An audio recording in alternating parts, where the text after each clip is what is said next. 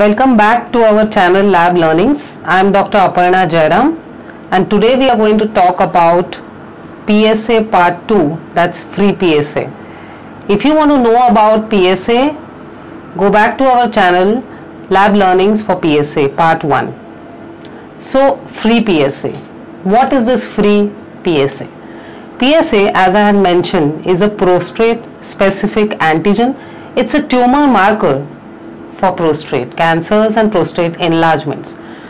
In that PSA comes in two types total and free. Free is that which is not bound to the proteins and it is the inactive form of PSA.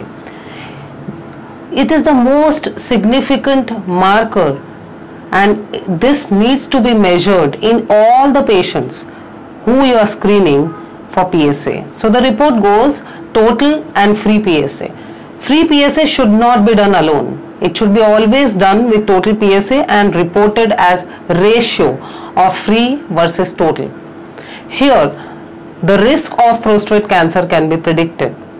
So the lower the ratio, the higher is the risk of prostate cancer what happens when this particular thing comes higher? Is there any other marker which we can predict genetically? Yes, there is. That is called as PCA3. Now, this is basically a genetic marker produced in urine. As I had told in my part 1 that PSA should be used as a screening tumor marker for all men above 50. It is a predictive marker. Can PSA3 be done like that? No. It is indicated for patients with elevated PSA levels.